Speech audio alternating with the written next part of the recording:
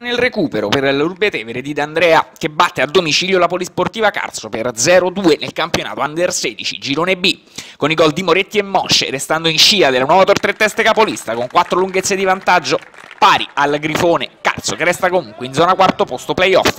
Prima occasione per i padroni di casa al decimo, lungo batti e ribatti in aria, poi Dauria prova la conclusione, palla alta che termina sopra la traversa.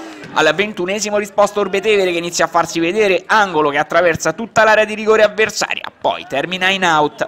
Al venticinquesimo altro corner su cui Mariani di testa va vicino al gol. Ancora giallo-blu che attaccano e alla mezz'ora viene steso in aria la penna e penalty che Iazzetta para su Paolucci in eh, due tempi Nel finale di frazione traversa piena dall'Urbe Tevere su conclusione di Mariani.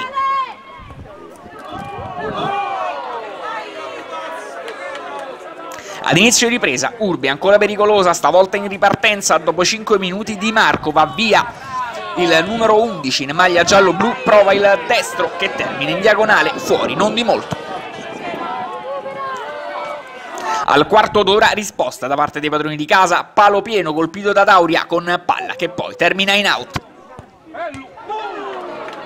Urbe che va vicino al gol al ventitreesimo di Marco, fa tutto bene, si libera in area ma al momento della conclusione spara alto sopra la traversa. Carso invece pericoloso da corner al ventottesimo colpo di testa che termina fuori di un soffio. Nel finale le due reti che decidono il match al 42esimo, secondo di recupero, Moretti su punizione trova l'angolino giusto, 0 a 1 e Urbetevere in vantaggio.